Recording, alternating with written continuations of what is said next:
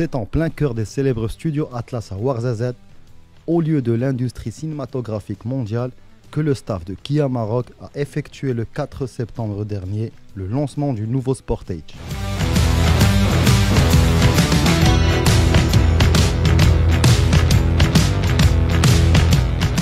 Véritable pilier historique de la gamme de Kia, la cinquième génération de ce modèle a profondément revu sa copie en matière de style extérieur et intérieur, d'expérience de conduite, mais aussi au niveau des motorisations.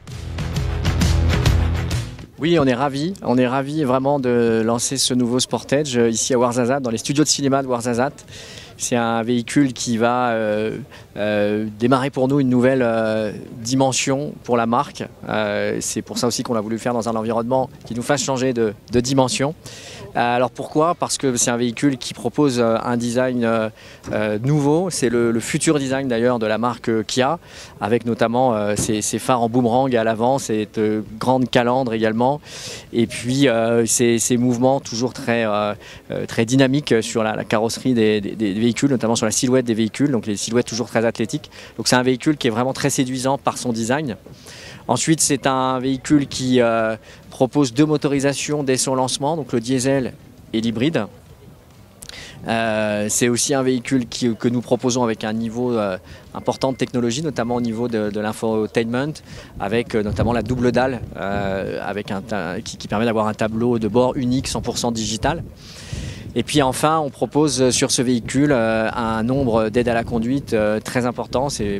Le véhicule sur son segment qui en propose le plus aujourd'hui avec 12, 12 euh, euh, différents euh, dispositifs d'aide à la conduite. Et donc on, a un véhicule qui est extrêmement sécurisant et sécurisé pour les familles qui voudraient voyager en Sportage.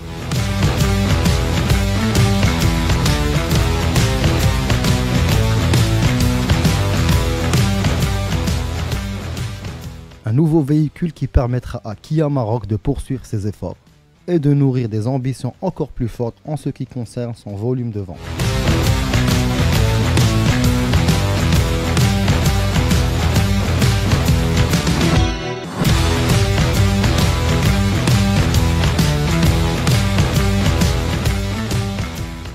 Donc la, marque, évidemment, elle a fait de, gros progrès, hein, puisque je rappelle euh, que la, marque a été reprise par le groupe GBH euh, en 2019. Donc euh, à l'époque, elle était même pas dans le, dans le, dans le top 10 du, marché. Donc aujourd'hui, on a reconstruit un réseau, on a reconstruit une image et c'est une, une, marque à retrouver des couleurs. on est à 3,5 de part de marché cette année.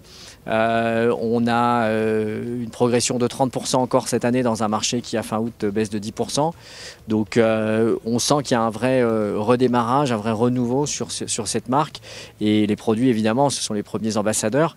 Donc avec le Sportage, on souhaite repartir à la conquête du marché. C'est ce que je disais en introduction, changer de dimension. Et donc l'année prochaine, certainement nous approcher du top 5 avec ce véhicule exceptionnel que nous lançons aujourd'hui.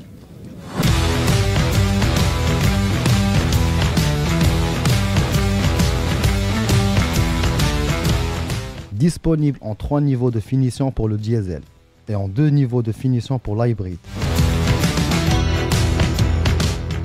Le prix de lancement du nouveau Sportage débute à 329 000 dirhams en finition active.